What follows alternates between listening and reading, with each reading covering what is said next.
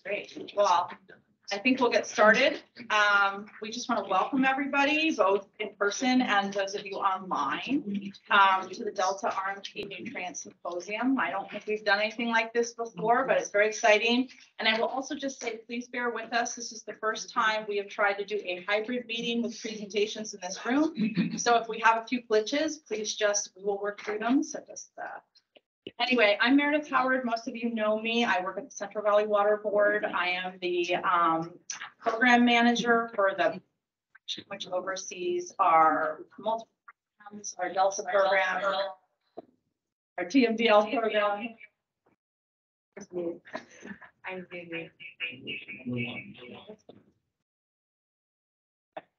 And our um, basin planning program. Hi, and I'm Debbie Webster. I'm with the Central Valley Clean Water Association, but I also serve as the uh, Delta RMP Steering Committee Co-Chair and the President of the Board of Directors. And so today, for the benefit of those that are on the online, um, just because they can look at who's on there, and unfortunately, you guys may not be able to at this point. Um, we'd like to go around the room, and what I'd like to do is, I start with Melissa and just kind of weave, and then wherever it ends up, I think, uh, we'll go this way and then Tom, you can, you'll be last. Okay. Okay, well, I'll start. Melissa Turner, uh, I'm the Delta Regional Monitoring Program. And, uh, welcome to the Nutrient Symposium. We're very excited for everyone to be here.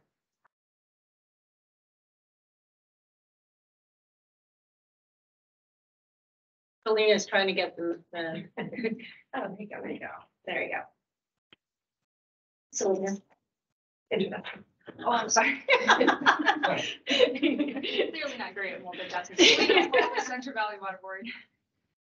I'm Janice Cook, um, with the Central Valley Water Board Delta Program. Tim Mussen, Regional SAN, uh, part of the Delta RMP Nutrient TAC. Joe Domagalski from US Geological Survey. Jenna Rennie, CSW. Tricia Lee, Delta Research Council. Keith Bouma-Gregson with the USGS. Mark Kraus with USGS as well. Paul Medina, like Robertson-Bryan Incorporated, I'm a steering committee member on our. Raji Subramanian, to City of Roseville, good morning. Uh, Mike Johnson, MLJ Environmental. I am a TAC, future TAC member from AG. Brian Bergamaschi, USGS. Dave Senn, San Francisco, West Florida. um, Oh, sure. Uh, Adam Laputz, I'm with the Central Valley Water Board.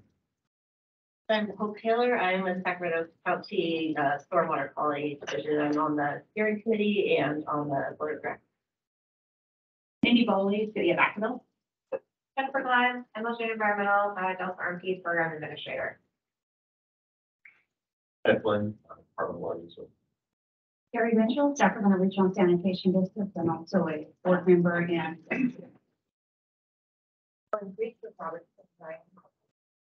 Lisa Thompson, Regional SAN, otherwise Sacramento.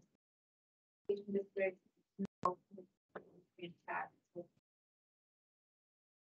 Alan Broadbent, Larry Walker and Associate. Brian Brown, Central Valley Water Board. Well, yeah, thanks, everybody. And we want to thank all the presenters and the session moderators and in advance of their contribution to today's meeting. And I'm also going to add the committee that worked on putting this all together because it was, they did a great job and it was a lot of work. So um, for you guys that are participating in person, the bathrooms are right outside the door over here.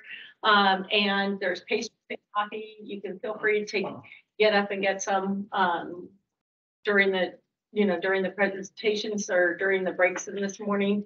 Um, we will, uh, we have a, we will be bringing our lunch in.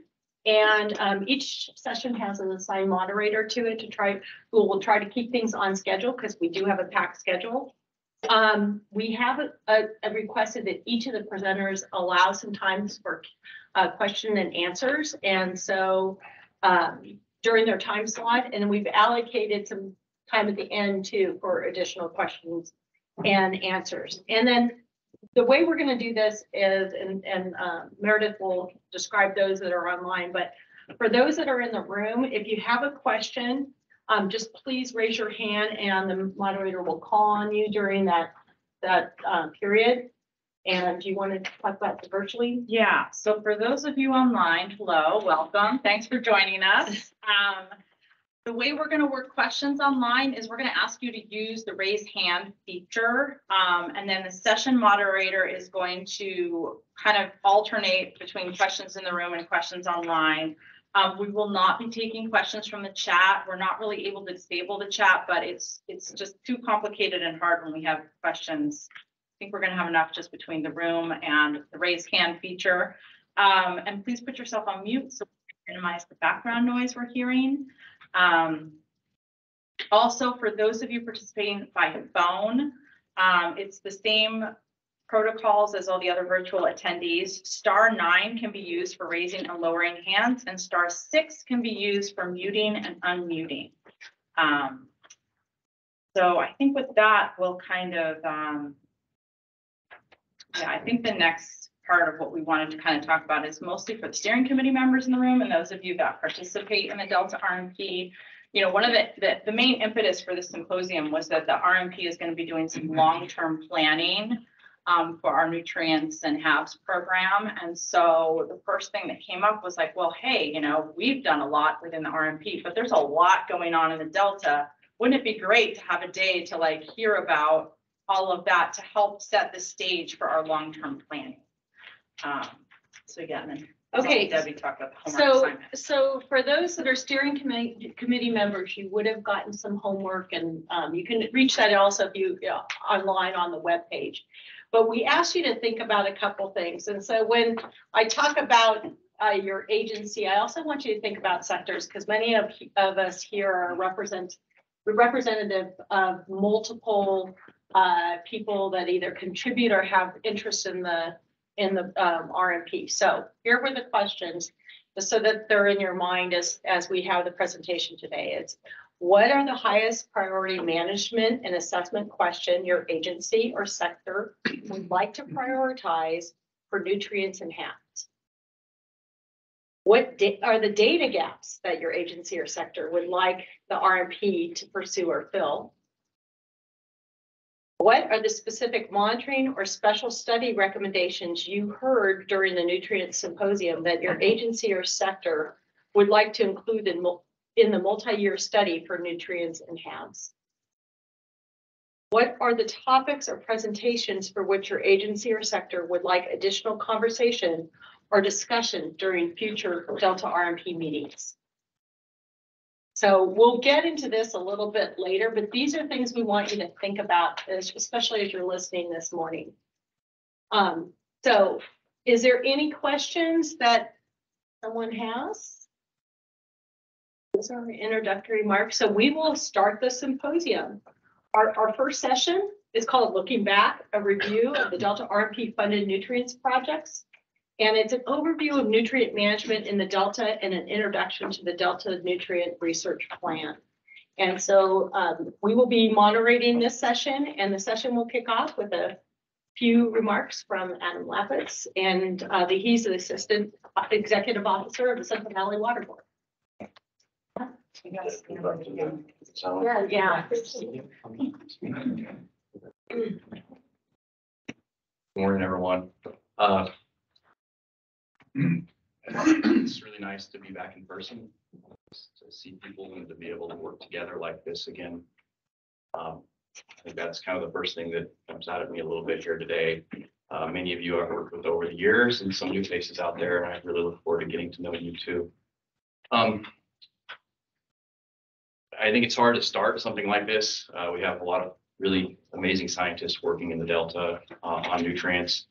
Um, and I think, you know, for, for the perspective of the Central Valley Water Board, I, uh, maybe I'll look back just a little bit. Um, you know, we had the twenty thirteen Delta Plan, the twenty fourteen Delta Strategic Work Plan. I hope I got those titles right. Um, those contain charges for, for us, really. Those charges were to look into whether or not nutrient objectives were needed. Um, probably not the exact words, so don't hold me to those, but that's how we interpret it. Um, and so that really kicked us off on a, on a road, uh, and started really, uh, it- well, continued, uh, a kind of a, uh, a- you know, some work that needed to be done, uh, and we developed, uh, our trade research plan as a stakeholder-led effort or stakeholder partnership effort with our staff and, and stakeholders. Um, started with Chris Foe and Janice, and now Janice leading the Chris. way. Chris and Christine Joab. Kristen, Christine, okay. Um, at that time, back in 2013, 2014, the Delta RMP wasn't quite going yet. Uh, we were meeting, we were having a lot of discussions and actually kind of wrestling about funding at that time. Um, so, you know, I, that hasn't changed. That charge hasn't changed and that need hasn't changed. And if anything, it's become more and more urgent over the years, uh, that progress be made. Um, there's, you know, we all are aware of, of the effects. We're all aware of, of where there are concerns and where there are not concerns, uh, throughout the Delta. It's a very complex waterway, many uses. Um, and what's clear though is, is that nutrient objectives are, are in, in, they're, they're being worked on. Um, they're being worked on for other state waters. Um, they're very kind of front and center right now, more and more so. And I think it's a unique time for the Delta RMP. This is a, a time, uh, we have a Delta RMP, uh, we're funded. Uh, we have a nutrient research plan, we have a nutrient TAC. Uh, we are organized now and, uh, there's been a lot of change. Uh, but I believe it's a unique time and a time when we can, uh, really start, uh, and, and, well, continue this important work and develop the science necessary, develop the understanding necessary, such a complex waterway. Because at the end of the day, I, I don't think that we're gonna be able to answer the question with one nutrient objective built on some, you know, I, I don't know for sure. I'm, I'm an engineer, so throw me out the door if you like, but I, I think it is, it is a complex waterway. I, I, I don't think that, that it would be well served for us not to do the hard work, roll up our sleeves and, uh, do what we do best, and that is design. That's our voice. That's our voice as a region, our voice as stakeholders into these types of processes. Um, So I would encourage, you know, each and every one of you in your agencies, um, to, to kind of keep that at the forefront. We, you know, we, we, this is a very important, uh, very important work that needs to be done. Um, couple other things, um, I think that, that, uh, I wanted to say just, uh, again, thanks for being here.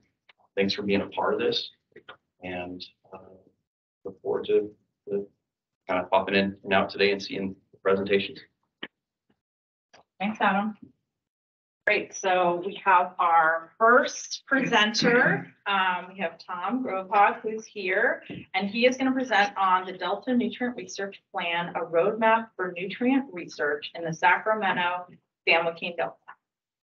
Thank you, Meredith. I think I'm off camera here, which is probably doing a favor to the people online. Um, I guess, I- before you start, folks online, can you hear us? Let us know if you have any issues hearing. We have the mic in a certain spot. We can move it if we need to. So You guys can say Ryan, will let thumbs us up. know if, if you see anything. I see, I see a thumbs up. Okay, all right, great. Sorry, go ahead. Great, great. Um, I'm, I really appreciate the opportunity to be here today. Um, it's been almost ten years, as Adam said, since the Delta Stewardship Council charged the Central Valley Water Board to develop a study plan to set nutrient objectives in the Delta, either narrative or numeric. And they had a pretty aggressive time schedule. We haven't entirely met that schedule, but that got the ball rolling. Chris Foe and Christine Joab uh, were the staff people working for the Central Valley Water Board. And they initiated a process that I, I think as you'll hear in my presentation, it's really uh, a model for how people should be addressing nutrients as they try to answer this question.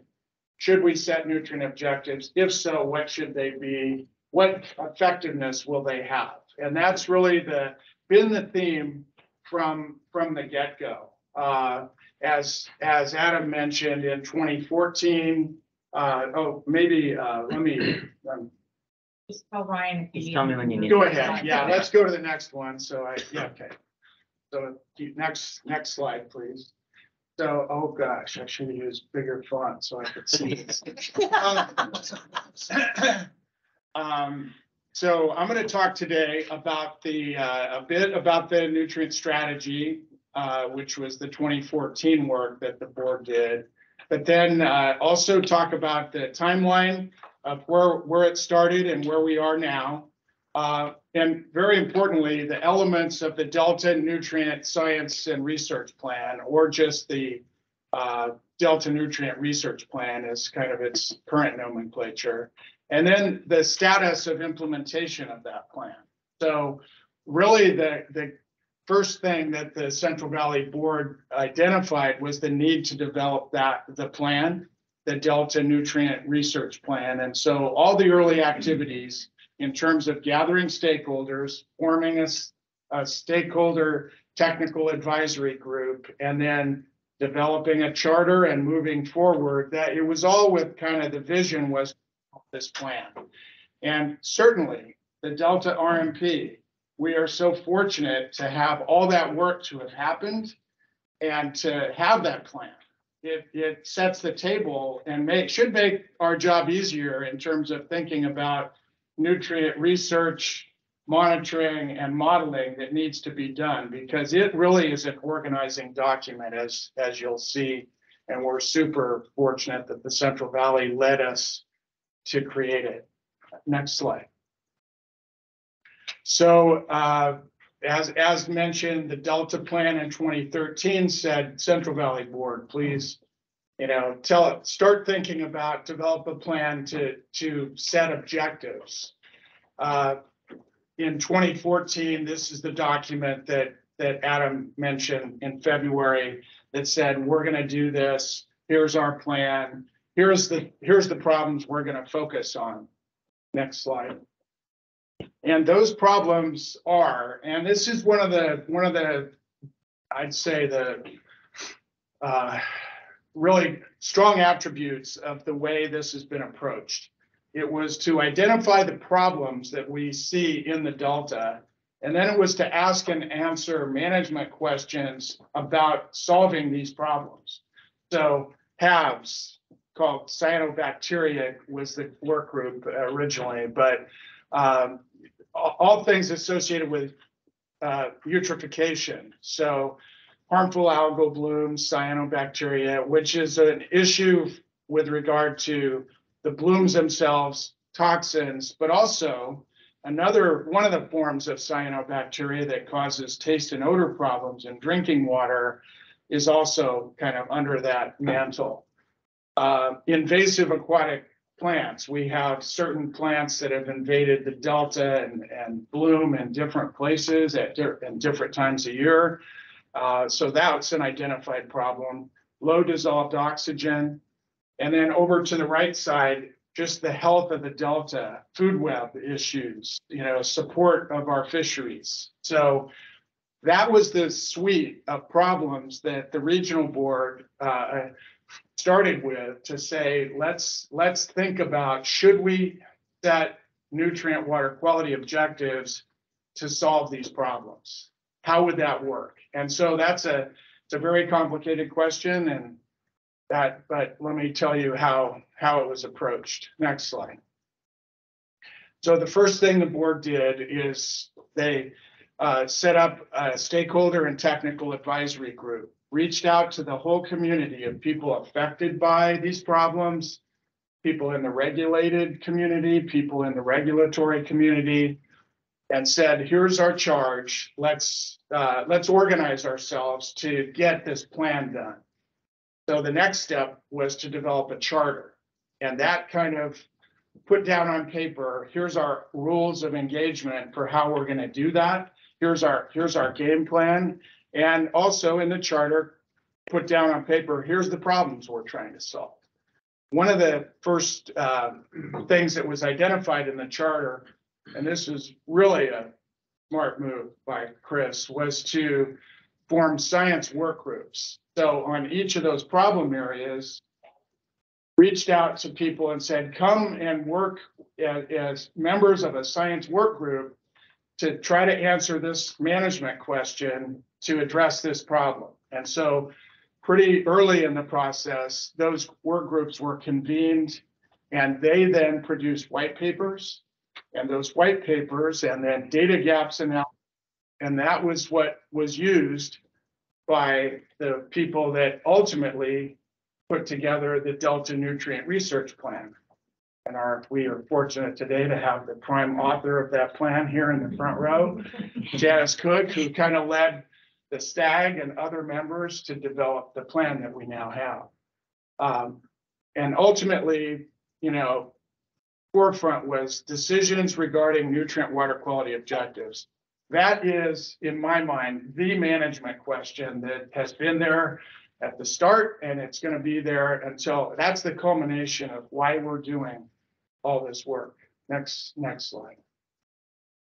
So the stakeholder technical advisory group, again, it was a very diverse group from wastewater, drinking water, stormwater, resource management, just a, a really well-rounded group that formed the STAG. And that the STAG was uh, advisors to the Central Valley Water Board staff as they went through this process that they developed. Next slide. Uh, the charter, and I really been involved in a couple projects where we've, it started with a written charter. And it really helps because when you're getting going, it, it's like, let's capture what, why are we doing this? But it's a, and let's talk about how we're gonna do it. But to write it down and to have it as a document that, and it, so it was developed by the STAG with the Central Valley Water Board leadership as a document. It's available. Uh, we'll, I, I don't know that I have a link to it, but we have it and we can distribute it because I, I think it's, hi, Tom. It's a, uh, it's really a, was a fundamental of why this process succeeded was to have done this charter.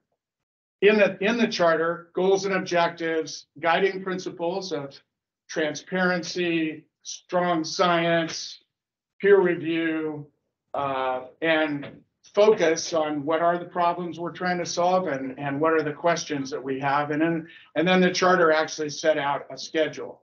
So it was a, it was a really great organizing document. We've used it in the Central Valley Drinking Water Policy. We used it in the Mercury TMDL. It's, it's just really, I, I would say, and it, it's a document to still pay attention to. Next, next slide.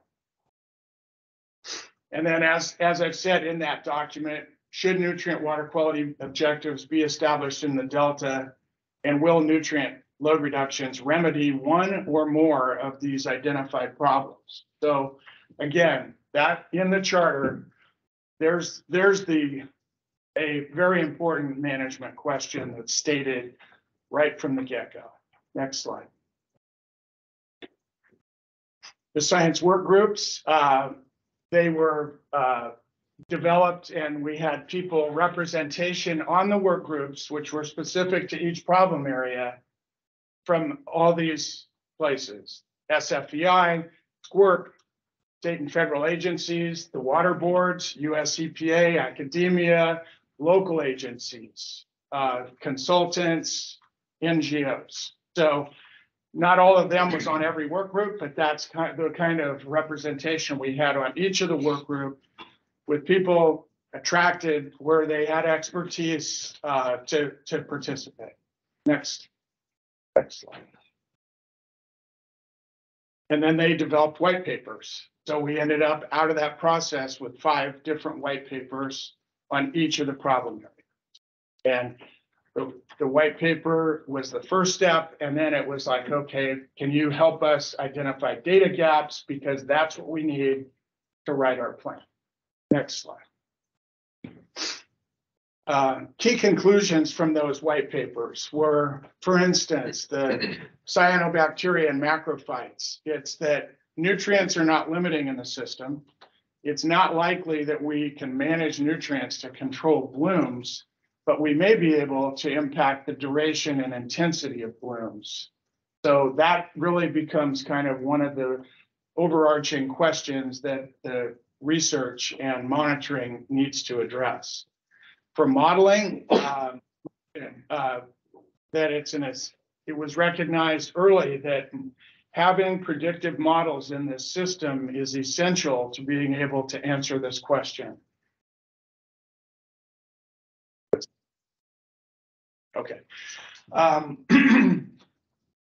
Drinking water, uh, convened the group that just identified the fact that it's different cyanobacteria that have been with us billions of years that, that cause uh, taste and odor problems that we experience in drinking water, that a lot of those impacts occur outside the delta. So it poses an interesting question. Can we control taste and odor problems in remote locations by taking action in the delta with regard to nutrients? And then the delta ecosystem food web issues. Um, the, the big takeaway from that white paper is that we need a, a holistic approach to thinking about not only nitrogen, but phosphorus as well, and that it needs to be a whole system analysis. So really some great stuff that came out of these working groups and, and the papers that they generated. Next slide. So this is just kind of showing you the flow that from the groups to the white papers and then recommendations that were developed, which then fed into kind of the, that was the uh, guts of what uh, needed to go into the nutrient research plan. And STAG involvement was kind of consistent with these work groups and through these steps of the process, working with Chris and Christine and Janice to develop what, what we've got. Next slide.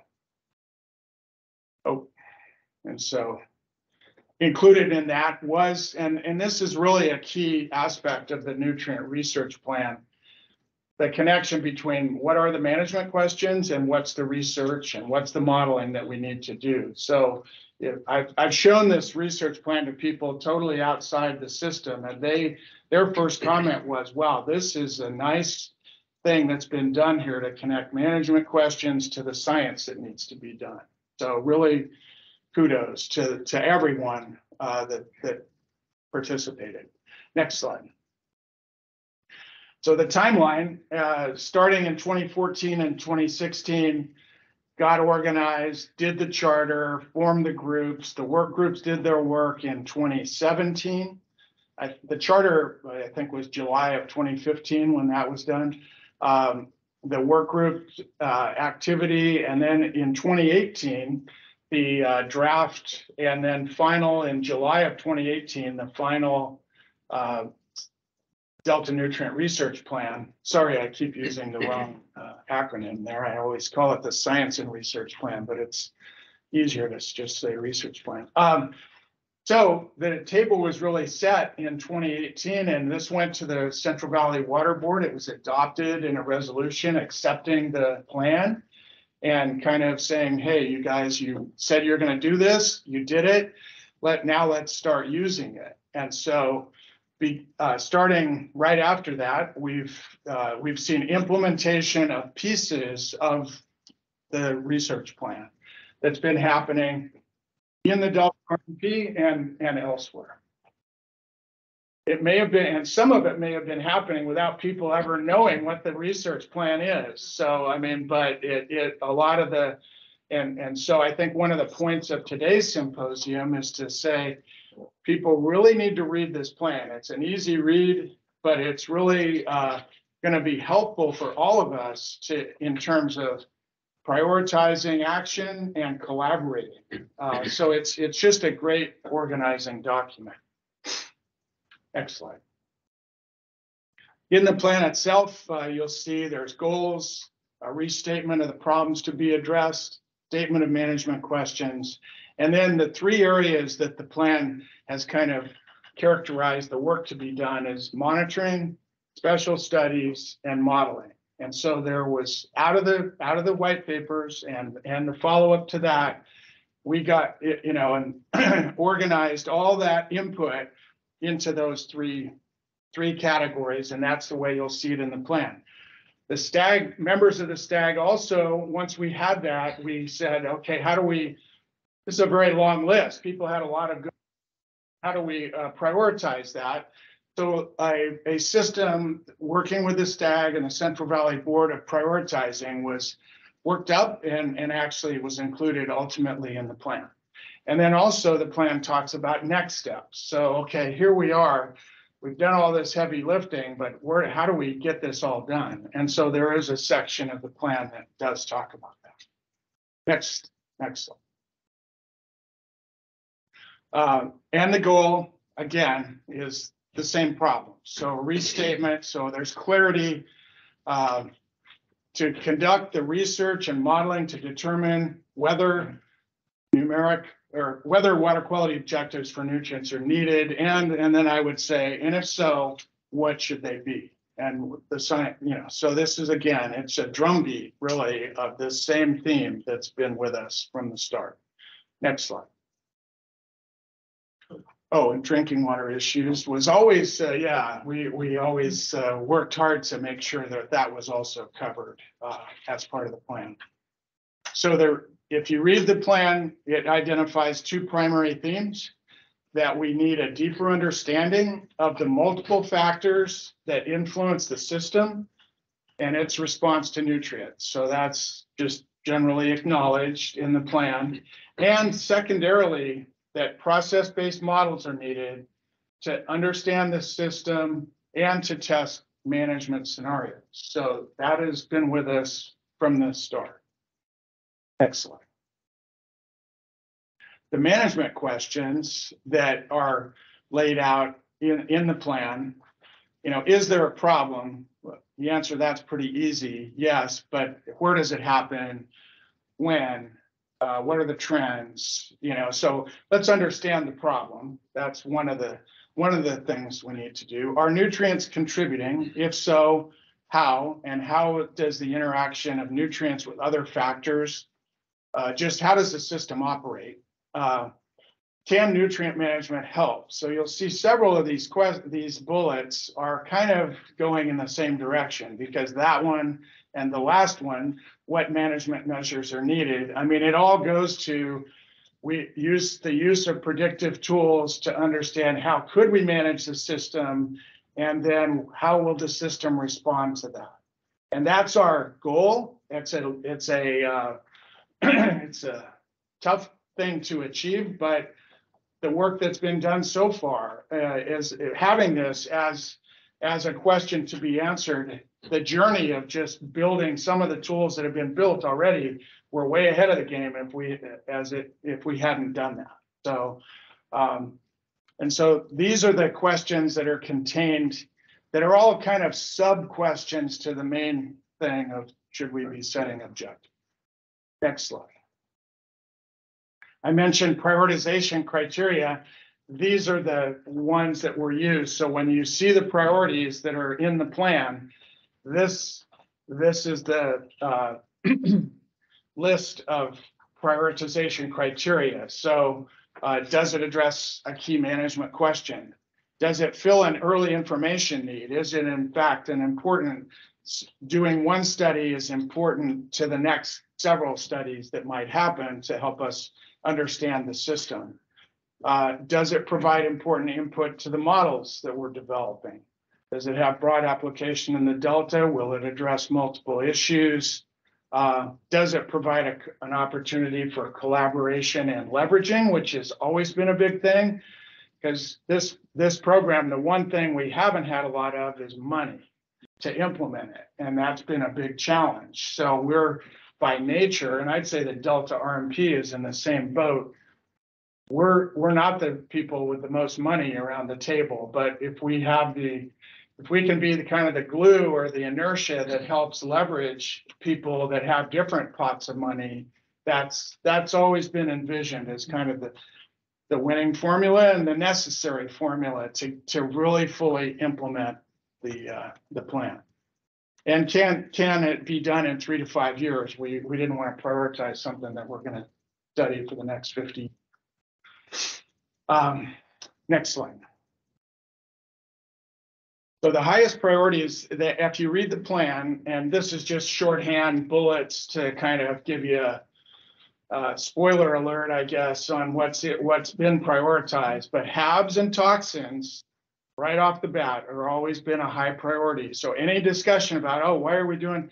I mean, this plan and all the work that led to it has always told us these, this is an important thing for us to be, to be monitoring and doing special studies to answer the key questions around HABs and toxin. um, and associated toxins. Model development and utilization, always a very high priority in this plan. Dealing with the ecosystem questions of phytoplankton abundance and growth and its impact on the food web, the health of the system, uh, that was ranked highly. And then the work on macrophytes, because macrophytes is a big problem in the system, impacts navigation. Uh, so anyway, so it's not a huge surprise, but those, that was, if you look at the list and the prioritization of that list, that's all laid out in table two of the plan, um, that, that this is what you'll see. Next, next slide. And then the next steps is that, you know, okay, we've done all this.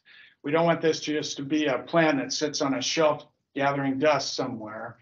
Let's, how do we move it forward? And so, uh, obviously, let's start doing the high priority stuff that we've identified. Uh, let's also, uh, if we're gonna ask and answer the nutrient objectives question, we need a parallel activity to go figure out what, uh, what are the potential water quality objectives if we decide that that would be a, a smart management move to set objectives, which by nature, setting objectives leads to nutrient load reduction on certain categories of sources. That's really, that's when we set objectives, that's what happens. So, uh, but really actually knowing what those thresholds might be and looking at all the research that's been done elsewhere in, in California, uh, San Francisco Bay, I, which has got its own nutrient management strategy, which looks quite a bit like what I just described for the Delta. Actually, the nutrient strategy in the Bay was a year or two ahead, but it, it has a lot of the same elements in it. So anyway, and they're, they're looking at nutrient thresholds. And when I say nutrient thresholds, what are the ambient levels of total N and total P that uh, might be set as objectives? What are those candidates? And that's, it's relatively straightforward to, to do that. I mean, there's a lot of work that's been done around the country and, and in California. So, uh, but that's an, that's something we need to do because we need to ask, what, could we get to these numbers? And if we got there, would, would it, would it solve the problem? One of our five problems.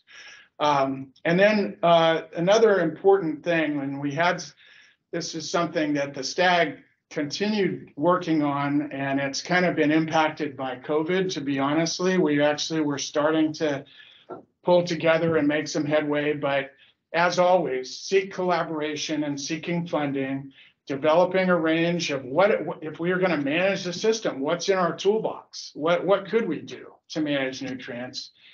Because we need that to use to match up with our predictive tools so we could evaluate the effectiveness of those measures. And then let's evaluate the thresholds that we find. So those are, again, it's uh, something that's a great starting point. Maybe it's not the final answer, but that was the thinking when the plan was done in 2018. Here's the roadmap for next steps. And, and that kind of gives a good roadmap to the Delta RMP as well, I think. Next slide.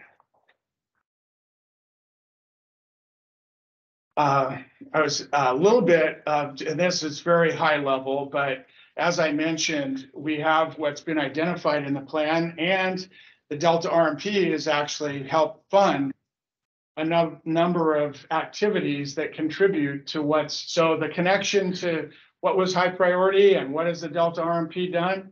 Pretty, pretty good match. And I think, you know, great minds all think alike. So th- some of these things tend to converge, but uh, the nutrient, uh, the data synthesis of there's all this data out there. Let's synthesize that. Let's at least start to understand what the system looks like. Um, have special studies, some of that's happening currently under work funded by the Delta RMP. The USGS high-speed cruises that have been done, which has really added to our ability to understand nutrients in the system, how they act over short time duration. And then the development of the biogeochemical model. So you're gonna hear a lot more about this later today, but that's some, just to make the point that a number of the things that have been highlighted in the plan is what Delta RMP has already funded. And others, I, I should say, and that's, that's important. Next slide. So, I don't know, is that Perfect. time wise, are we okay? Yeah, great. Okay. And I've included here a couple links and uh, to, this is to the work plan, the twenty fourteen work plan. And also the plant, the research plan itself, but as I said, and uh, I'm not, I'm not the expert in setting up links and giving them to you guys, but we can get you copy of the charter, copy of any of these white papers, they all exist. Janice sent them to me, and so we, we have them, and uh, I think anybody, it's a, it's a good read just to really get a full understanding of these issues that we're all currently dealing with. And the, the Delta Nutrient Research Plan link is in the program too. Yeah, thanks. So, question? Yeah, so we're gonna take questions in the room. Yeah, I was gonna alternate, like, be Yeah. one in the room and one online, depending on who we have. Is there, any- is there any questions in the room to start with? Oh, um, it was just a very basic question. Um, is, are these presentations gonna be available at after? Yes, our plan is, um, so everyone should, say we should be recording, so you should have seen the recording started online, so we'll post the recording. We'll probably split it up into a couple, so you don't have to sit through breaks when you're watching it back. And then also we will PDF the slides and post them. We'll want to make sure we talk to the presenters, you guys are good, before we post the PDF version, but we'll put that on. Okay, good. Do we, Yeah. so if you've got a question online, um, again, it's under the reactions and you can raise your hand. Um, and if you're on the phone, there's a couple people on the phone, um, it's star nine. to raise, raise your hand. Okay, we're not seeing any online. Any questions? Okay, Paul. Um, who is using the plan besides the RM? I think that's a, um, one of the reasons for this symposium, actually, is to get the, make sure, Meredith, you, Yeah, I was Answer to gonna that? we use the plan. Yeah. Janice actually has a lot of projects going right now that are Right. not necessarily through the RMC. And so we actually really use the plan to say, well, you know, if we're gonna do something else in the Delta, and actually, I think you're gonna hear some of this from Ellen um, later. Um, so we use it at our agency for our program. We use it all the time. We really go back to it quite a lot. And what I love about it is you know, it's not one of those documents that's gonna be outdated in five years, because it really has everything, including the kitchen sink in it, which is sometimes hard to figure out, like, gee, there's so many things that would fit into these prioritization criteria, how do we further prioritize? But it's great because it's one of those documents where it's not just gonna be outdated. So I feel like it's really well we use it all. I remember sitting through some of the work group meetings and uh, reviewing documents and so forth, and just, you, you don't hear much about, um, or I haven't heard much about, uh, just other, other programs taking on the plan as a way to prioritize their action. So, Tom, you had indicated that the RMP doesn't hold the lion's share of the funds that come to uh, addressing water quality issues in the delta. So I, yeah, my, my thought is, you know, how, how does, um, how do you influence those other, uh, programs to use, use the to, to me, I see that as a huge argument for why this symposium is being held, to really start, step one, people in the Delta RMP get this plan, use it. It, we're, it's a gift, really. I mean, it's truly an excellent piece of work. And I, I want to thank Janice. A number of the slides you see here today, she provided to me, but she really after all the work Chris did, she stepped in and really is the author of the plan. And yeah, I just think it's an excellent piece of work. So, uh, she's, hates me to say that, but, uh, It was just taking the data caps out Okay, of the okay, pa- out of the white No, papers, It's a good plan, Janice. I have- Yeah, and just to that question too, um, the Delta Science Program is also a major contributor of funds and I'll be giving a talk on this later, like.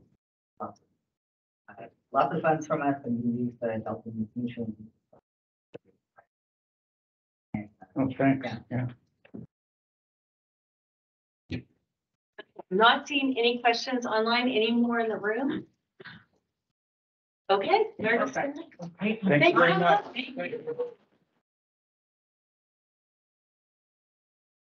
Great, so our next presenter is Tim Mussen, and he is going to give us an overview of the Delta RMP studies. Well,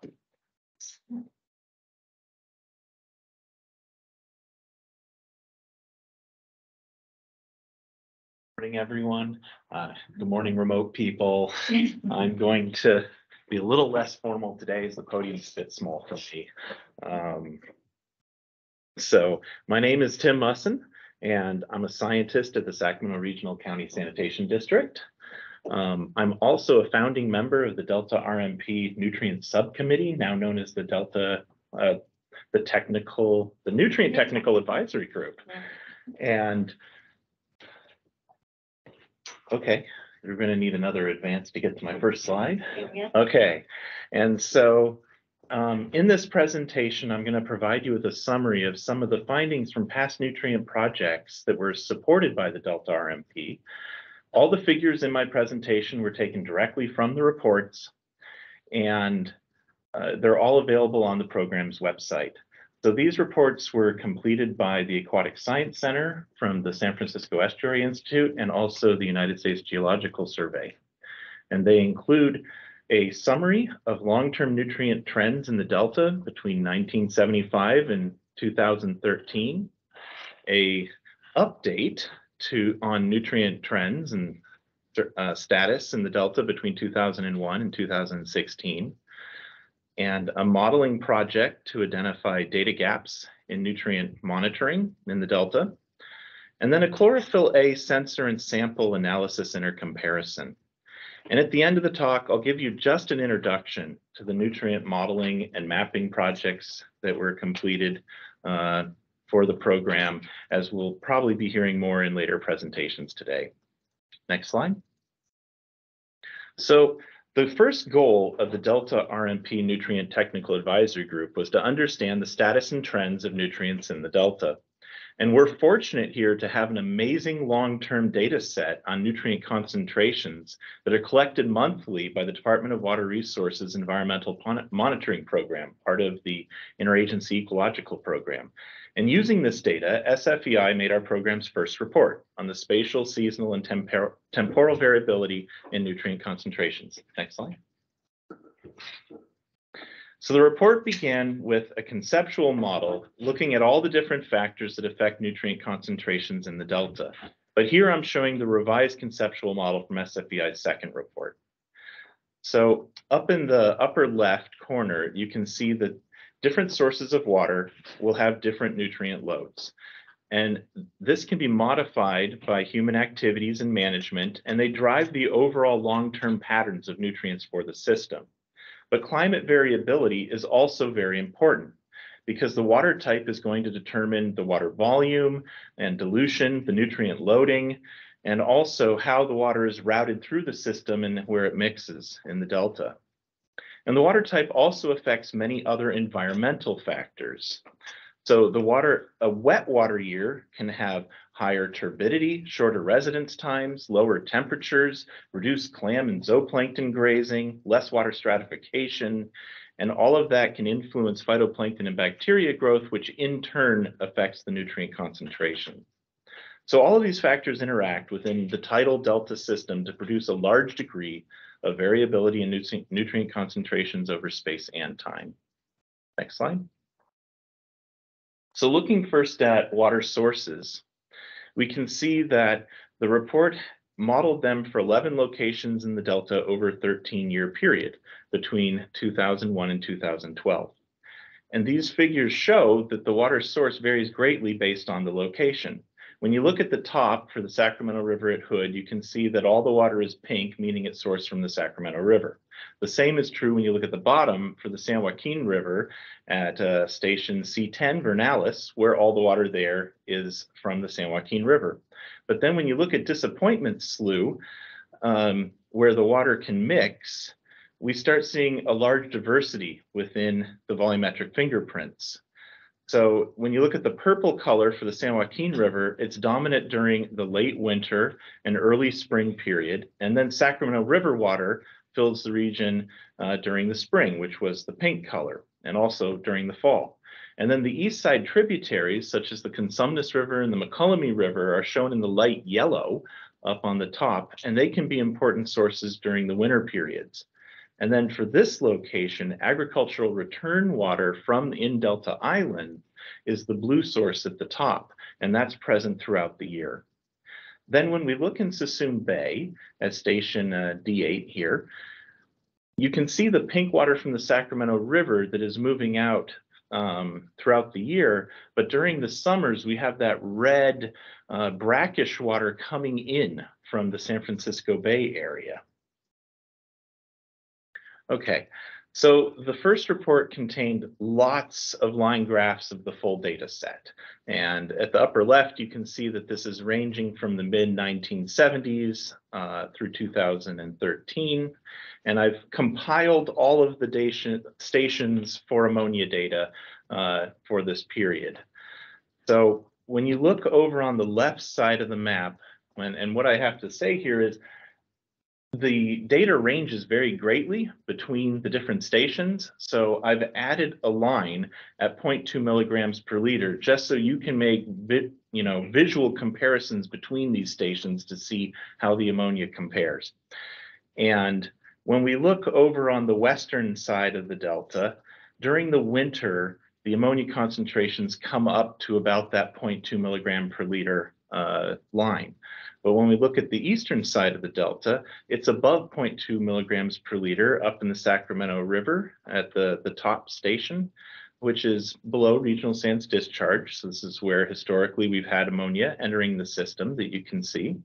And then also in the San Joaquin River, there was higher uh, ammonia concentrations. And that's where the Stockton wastewater treatment plant would have some of its influence. So to get a better look at how changes were happening both seasonally and over time, the report created these figures that were monthly averages. So the bars that you see are ranging from January on the far left to, to December on the far right, and the data set has been grouped into eras that were between 8 to 12 years period of time. So the most recent era is shown in the green bars, and the earliest era is shown in the red. And here again, I have the 0.2 milligram per liter mark uh, line for comparison between the locations. So when we look at the top at the Sacramento River at the Hood station, you can see how early on the pink bars are, you know, a little lower than the 0.2 milligrams per liter, but then over the eras they've increased so that it was higher in the green bars up above with the most recent era that was studied. When we look in the San Joaquin River, um, the green bars are very low, right down at the bottom of the graph there throughout the entire year. But when you look back at the early eras, you can see that in the winter, on the left and right sides of the figure, the ammonia concentrations were elevated. Now down in Suisun Bay, um, there's also a bit of an increase with the green bars higher than the red over time, and there's the very distinctive uh, lessening during the summer months. And this is where, uh, you know, biogeochemical transformations have reduced ammonia concentrations as they flowed through the system. So now let's look at nitrate concentrations. In the Sacramento River, oh, I've added a line at 0.3 milligrams per liter for comparison. So in the Sacramento River, you can see that during the winter, the nitrate concentrations are higher than during the summer in the middle of the figure, but there hasn't been a large change over the three eras. The San Joaquin River at Vernalis has much higher nitrate concentrations. And ninety-five percent of the total nitrogen that comes through that river is in the form of nitrate. And we do see not too much of a trend uh, over time happening here. If anything, the most recent era seems a little bit lower. And then for Suisun Bay, you can see that in the current era, the green bars are pretty much straight across, but in the past, in the earliest era, there was this reduction in nitrate that would occur during the summer months, where it dips down a bit lower. So when we look at the phosphate concentrations through the system, and here there's a line added at 0.1 milligram per liter, there isn't as much in the way of seasonal trends seen throughout most of these uh, waterways. But interestingly, the middle era was higher than the most recent era for both the Sacramento River and Suisun Bay. And I don't have a reason for that. Um, now, looking at chlorophyll A, which is a pigment that people use to measure the amount of phytoplankton that is present within collected water samples, you can see that in the Sacramento River, chlorophyll A concentrations at Hood are generally quite low.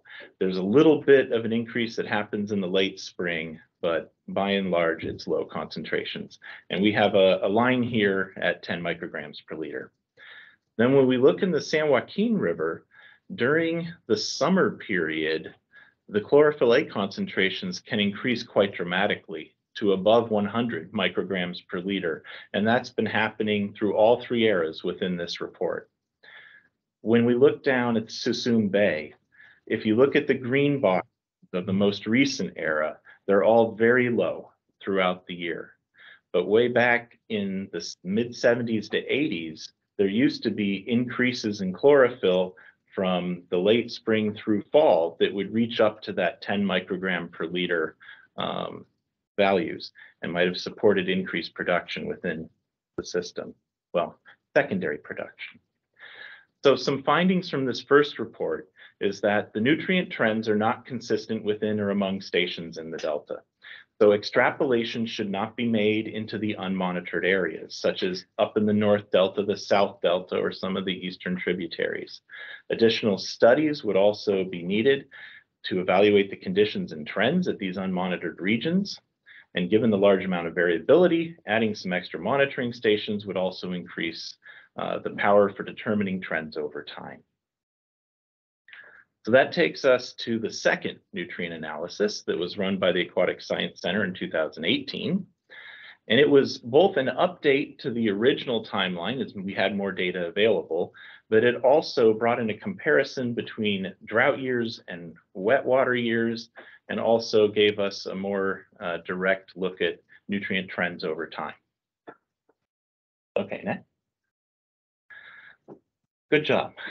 I haven't been telling you to advance. You're doing excellent. So this figure shows an updated time series between 2012 and 2016 with Freeport Station shown on the top from the Sacramento River and Franks Tract on the bottom. And actually, that's not Freeport, that's, that's Hood. So when we look at um, what's happening in the Sacramento River, the back end of the graph has been labeled red to indicate that those were periods of drought within this analysis. And overall, both the ammonia concentrations and the phosphate concentrations were elevated in the Sacramento River. It's a little bit hard to see from this figure. And it was predominantly during the winter season that these went up. Um, chlorophyll A remained low uh, throughout the period. Looking down in Franks Tract, which is from the central delta, we see that there is wider variability between the ammonia concentrations in the summer and the fall months, shown by the large U gaps that come in between. And that's because there's more time for transformation to occur in the ammonia as it reaches uh, the central delta.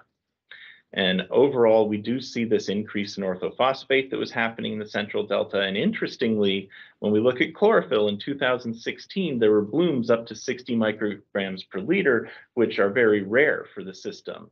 And uh, we really wanted to understand why that might be happening uh, following that event. Next slide. So here we're looking at two stations within the San Joaquin River. We have Buckley Cove on the top and Vernalis on the bottom. And we can see that the ammonia concentration at Buckley Cove was uh, fairly high in the first few years, and then it drops right off to really low concentration. And that's because the Stockton wastewater treatment plant underwent biological nutrient removal in 2006 and helped lower those ammonia concentrations. And we see that chlorophyll A was quite low throughout that period. Um, up at Vernalis, which is upstream from Buckley Cove, we see that the ammonia concentrations were low throughout this time and that the orthophosphate increased during the drought period and chlorophyll A um, has these summer spikes that occur that weren't necessarily more prevalent during the drought, um, but can be seen throughout the time period. All right, next slide. So here we're looking at the wet versus dry year comparison, and we're back to those monthly averages that we saw earlier. But now there's a statistical process that's been run to separate uh, the wet year, well, significant differences in wet years and dry years.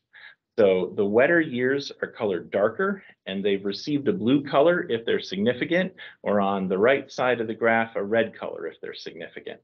Okay, we have the same three stations that we looked at early on of the Sacramento River at Hood, the San Joaquin River at Vernalis, and at the bottom Suisun Bay.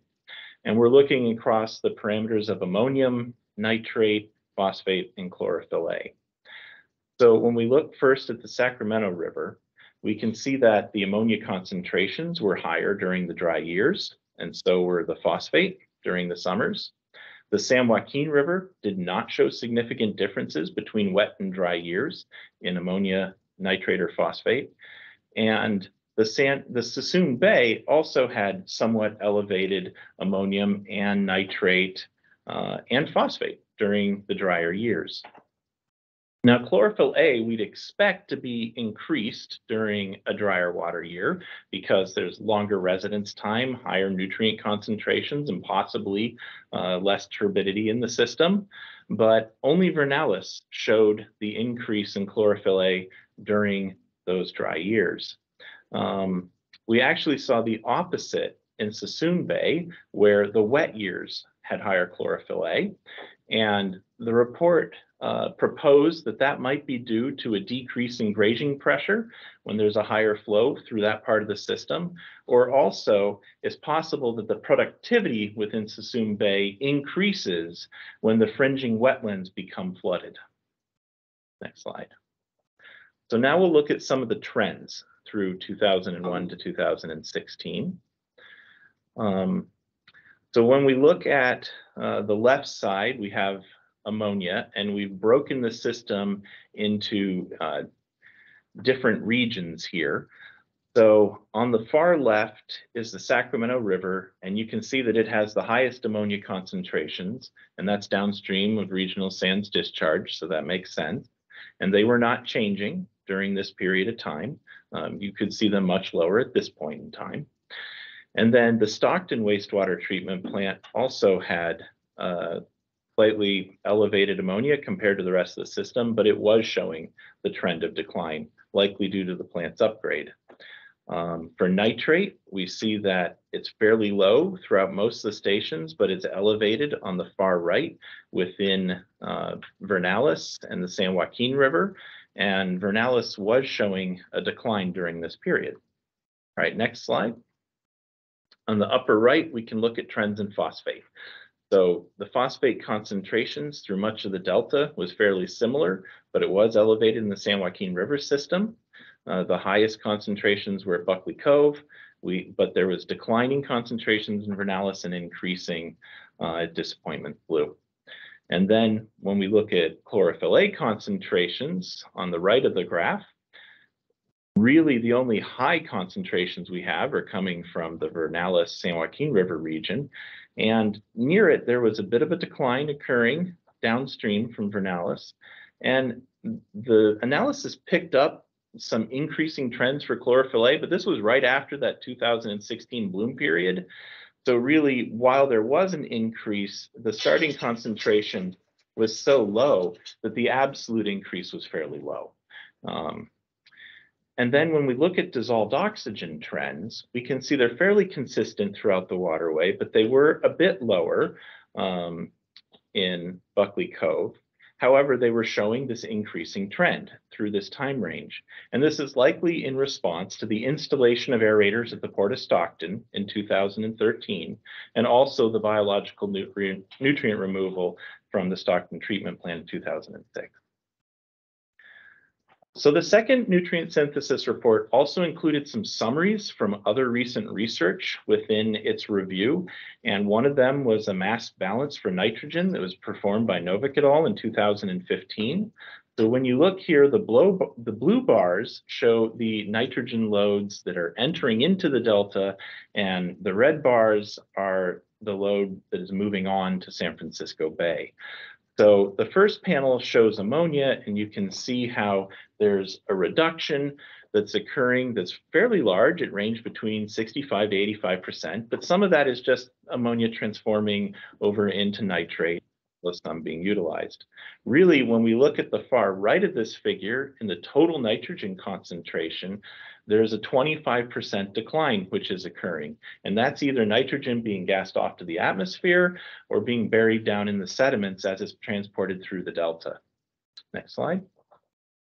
So the report also looked within different delta subregions at uh, determining whether they were sources or sinks. We have ammonia on the left, but I'd just like to look at the total nitrogen on the right at the moment. And so what we see is that up in the North Delta, there's a loss of 10% of the nitrate through the, or the total nitrogen through that region. The Central had a 25% reduction and the South region had a 15% reduction. And it might be useful to do one of these types of mass balances for phosphate in the future. Uh, next slide. So since the first Delta RMP report suggested that monthly sampling might be inadequate to estimate the changes in nutrient concentrations over short time periods, the Delta RMP funded USGS to prepare three reports describing how a high frequency nutrient and biogeochemistry chemistry monitoring network could be constructed for the Delta. So these reports are available on the Delta RMP website and also within the links provided on this slide. Next. And some of the initial high frequency monitoring studies conducted by USGS found that the highest nutrient concentrations in the system were occurring during winter storms, but the timing was different for the peak concentrations throughout the system. The, nit the nitrate concentrations could change rapidly during semi-diurnal tides and available sunlight that there was substantial within month variation within the chlorophyll A concentrations at most locations that were monitored, and that some locations in the northern delta had lower DO than what would be expected due to seasonal changes, indicating that the DO might be depressed because of higher increased residence period. And they also um, really put forward that the high frequency monitors are beneficial because they allow for the measuring of the flux of nutrients through the system, both the advective and dispersive. And really, within their studies at the Cache Slough, if you only looked at advective flux, you'd be missing 30% of the total flux that was occurring. Next slide. So the second nutrient synthesis report concluded that there were some large major gaps in our understanding of nutrients. And the first one was uh, we don't really understand how the delta ecosystem is affected by these nutrient concentrations. And the second was that the primary sinks, sources, and processes in the delta still need to be resolved for us to understand how the nutrients are changing. Uh, the report recommended that in the future, we should use mechanistic water quality hydrodynamic models to define the important processes, timescales, and spatial scales, and that augmenting monitoring programs with additional parameters, stations, and sampling events would inform data gaps. And finally, that short-term intensive monitoring and special studies should be conducted to test nutrient management actions and elucidate the mechanisms and parameterization. Okay, while the second nutrient synthesis report was being written, the Delta RMP also funded a study that modeled the water sources to different regions of the Delta and looked at the hydraulic residence time. So Resource Management Associates was subcontracted to use the Delta Simulation Model 2, DSM2, to create volumetric fingerprints and understand the proportion of water supplied to different tributaries in eight different subregions of the Delta over time. In the figure on the left, you can see that their water sources were varied pretty greatly amongst the different subregions and also over the seasons. And I'm not going to focus on this too heavily at this point in time, but I will say one of the other interesting findings was that this north central uh, subregion, which was right there in the middle of the delta, really didn't appear to be a uniform water body mass. And so they recommended that it be split over into the East Delta and to the San Joaquin River in future monitoring analyses um, to follow the, the sources of the water. And that can be seen on the, the red bars to the right. And when it came time for the pesticide TAC to do their comparative studies through the Delta and the subregions, um, we use this refined uh, set of subregions for that analysis. When we look at the water ages that were identified during the monitoring, they released particles at the different sources and tracked them for 28 days under low, average, and high flows to look at how the water was moving through the system. And the blue color in these maps is corresponding to five or less days, and the green color is between 12 and nine days. And this was in September of uh, 2010. So looking at a summary of the, the water age, we can see that overall there was a lot of variation amongst the different subregions. And subregions in the Sacramento River flow path usually had a short transit time. So on the figure to the far left, you can see the red dots that correspond to five or less days are going right down the Sacramento River flow path out uh, to San Francisco. But up to the north in Liberty Island, we're greater than 28 days of residence time in that region in general. And down in the south, there's also a fairly high uh, residence time between 10 and 20, 15 days.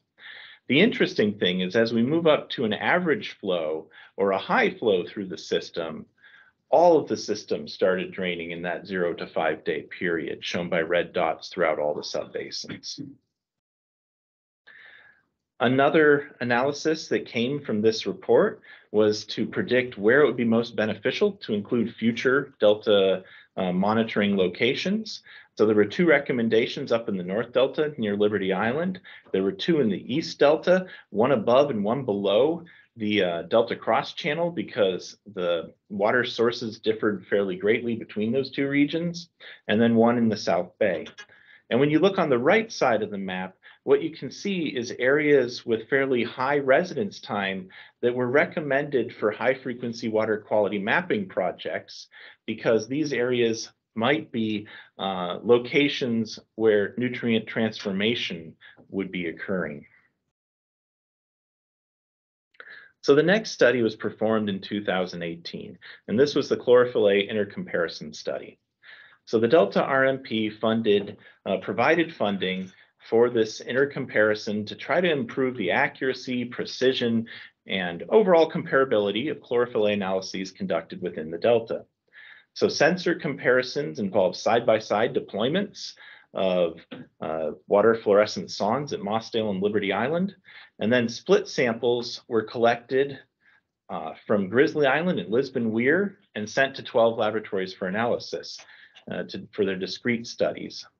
And when we look at the side-by-side -side chlorophyll A sensor deployment, you can see that there was variation in total chlorophyll A concentrations between the different sensors, which are shown on the left uh, as the different colored lines and on the right as the individual um, boxes. And overall, while the sensors were different, the relative changes over time tracked quite similarly. And further analysis showed that the older YSI 6 models we're providing lower chlorophyll A concentrations than the newer EXO2 models. So the recommendation was made that Delta agencies should start up a experimental long-term station where they can put multiple uh, chlorophyll A fluorescent centers and have them deployed in the Delta so that this can be tracked over time and increase their comparability. When we looked at the laboratory chlorophyll A comparison, it also found some interesting results. So first off, samples from two agencies ended up being removed from the analysis, one due to a lack of repeatability, and the other had particularly high chlorophyll A concentrations that didn't match the rest of the set. So when we looked at the other 10 laboratories and what factors might have been uh, affecting chlorophyll A concentrations, there was no response between the differing filter pore sizes, uh, whether or not the filters were ground before analysis, uh, fluorometric versus spectrophotometric analysis styles, or any of the hold times that were less than 24 hours.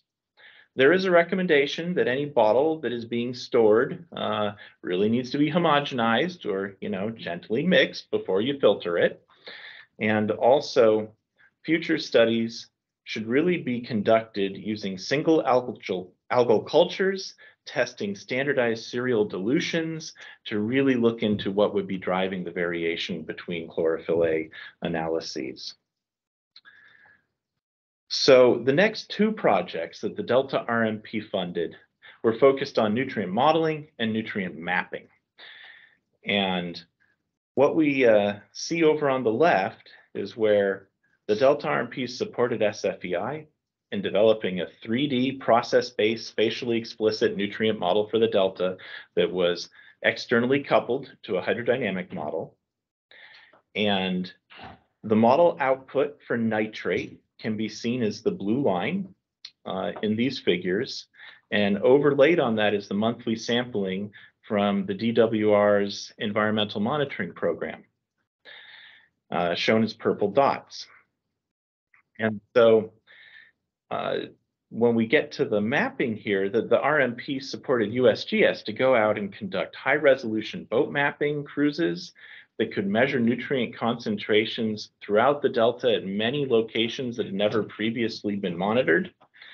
And on the right, you can see the output of the SFEI biogeochemical model shown as the different shades of color for nitrate in the background with the mapping cruises findings for nitrate during the same period of time overlaid within the colored rings. And you can see how they match up quite closely here through the system. So there was a large amount of collaboration between these agencies as these reports were generated that was really appreciated by uh, the nutrient subgroup. And I'm not going to review the findings from either of these projects further because we have the primary authors from both of these studies with us today. And I believe that they're going to go into their background findings as well as their future recommendations for uh, modeling and mapping in the system uh, later today. So I want to leave you with two important considerations that were highlighted by the findings of these early Delta RMP report. The first is that the Delta RMP is going to require a continued understanding of the nutrient status and trends as we go forward to evaluate the potential environmental effects that are specified in the Delta Nutrient Research Plan. And the second is that biogeochemical modeling and high frequency monitoring are likely needed to explain and predict the rapid changes in nutrient concentrations that occur within the delta. And I'll add to that, special studies are needed to inform uh, these modeling exercises as well when the data is not available. So that's what I have for you today. Uh, thank you all for your attention.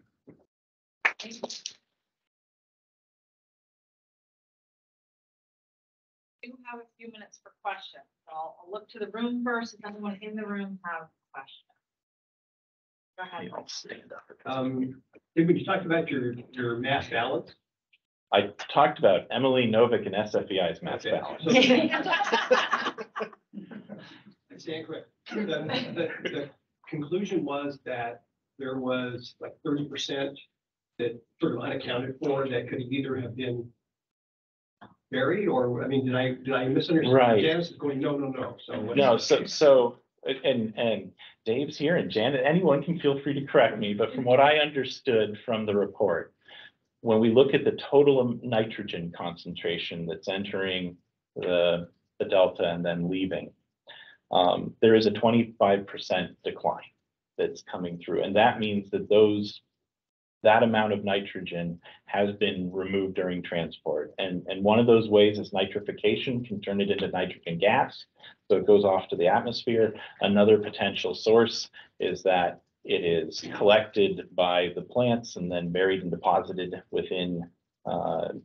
the sediment at a faster rate than the sediment's releasing nutrients. Um, and going further than that, I will allow others to So jump My question in. was gonna be any chance that, it- I was thinking about it getting incorporated in a biomass and into clams and that sort of thing in the- and that those. Yeah, I, I think that the idea is that sort of the idea buried in the sediment is not necessarily that the, the water dissolved nutrients is being attracted, but it's being sequestered within the animals and plants as it moves through, and then those are, you know, retained within the delta. Am I right in that one? Okay. But but then, uh, at some point in time, would you expect the sort of the flux back into the, or does it just stay buried? Otherwise, it's a whole lot of clams. Yeah, I would say some, at some point, there's gotta be some sort of, I So I, I, I'm just guessing. Well, and, and the different conditions are going to affect how much of that's happening, right? So in some ways, they're trying to build the wetlands that will slowly accrete and build up biomass to raise the elevations of the sided islands. In other areas, you might have massive erosion that's pulling the sediment back out and releasing nutrients. Um, I- it's interesting when you look at a tidal wetland system, whether it is, you know, taking on nutrients during times or whether it ends up releasing it from some of the material that is grown terrestrially and then transported through the system. Okay, I'm sort of thinking about potential studies, but fluxes thing, you know, things, yeah, things, sorry, sorry, So I'll, I'll just say, it was a mass balance, so it was what's coming in, what's going out, there's a thirty percent difference. So another way to, to flip that is, well, seventy percent of the nut, of the nitrogen is leaving.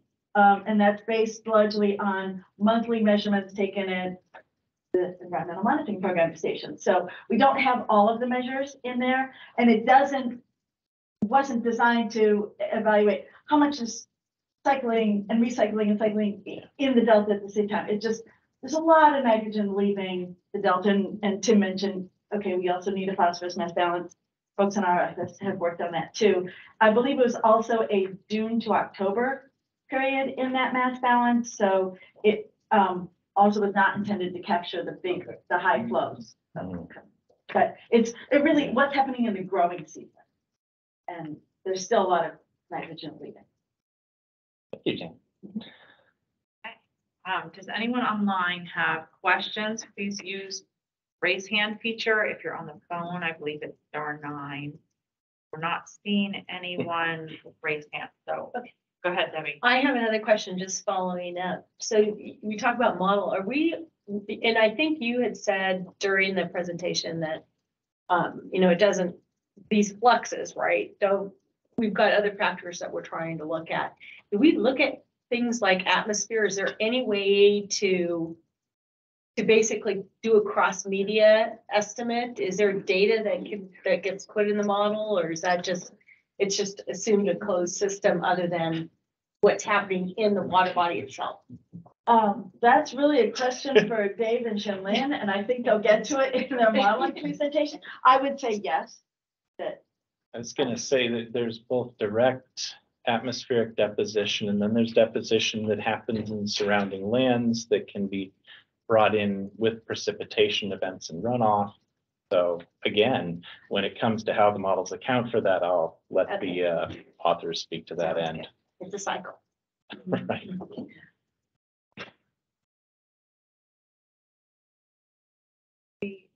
Are there any questions online? Uh, does she need? Uh, ask me. Three. Three, I'm sorry, I'm butchering your name, I'm sorry. Um, Basimi S, if you're Uh, on, unmute yourself. yes, uh, can you hear me? Yes. Yes.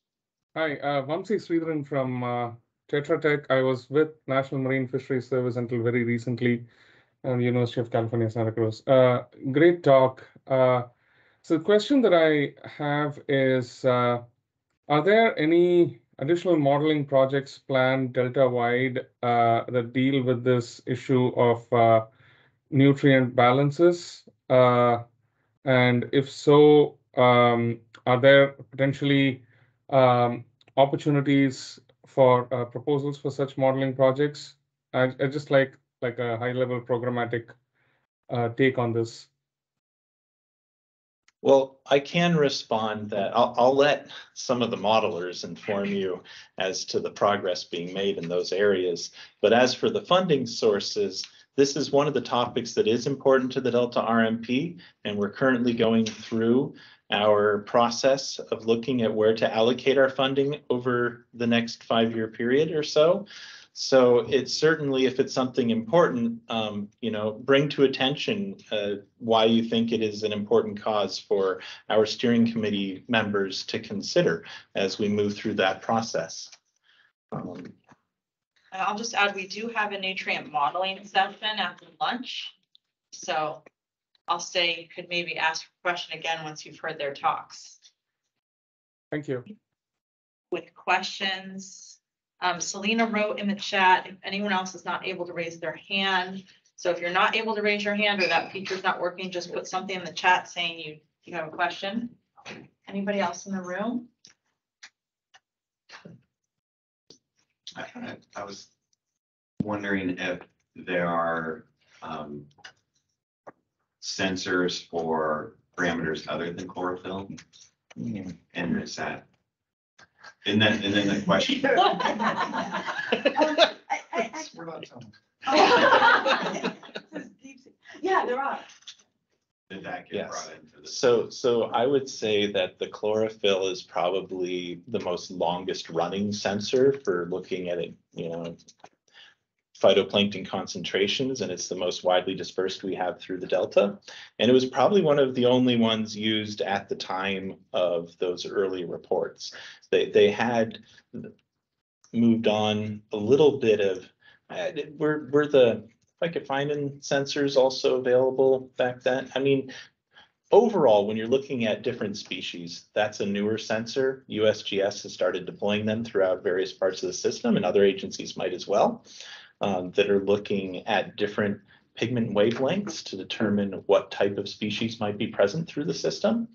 Um, but the overall biomass, chlorophyll A, uh, is retained within all of the different species and is a useful, quick method for comparing um, the the biomass and quantity of phytoplankton in general over time. So yeah, we're moving, the, the sensors are advancing constantly, and we do have organizations testing the newer sensors through the system. So that would be chlorophyll sensors, but what about, uh, chemical? Oh, yes, so all of them are matched to water quality sensors, and, you know, Tamara and Brian can give you a more complete list than I will, but Uh, uh, I think you're asking why was there a chlorophyll, an in situ uh, chlorophyll sensor report comparing sensors across agencies and not other sensors? And I think Oh. uh, hopefully we assume that across agencies, it's, they're doing a good job of intercalibrating temperature, um, conductivity, turbidity, because there's a lot of standard methods and there's standards for that. So it, it's, uh, so so the assumption is that we can compare temperature data across all the different agencies, even if they have different sensors out there. But the chlorophyll intercalibration um, study was done because uh, chlorophyll sensors are known to sort of have, there- there's, it's not that straightforward to uh, calibrate them and um, different sensors uh, because of the way they're designed might be measuring um, chlorophyll abundance differently. So that was the impetus for that. And then also the analysis of chlorophyll is known to have some issues and it was recognized that there are lots of different labs that are analyzing for chlorophyll concentration. So there was the impetus to do that study to try and understand how, how good are we doing as a community in collecting comparable data for chlorophyll specifically? Thanks, John. That, I'm gonna, I'm gonna just wrap us up because we're, we're due for about a ten minute break, which we'll now make an eight minute break to stay on schedule. So we will break until ten o'clock.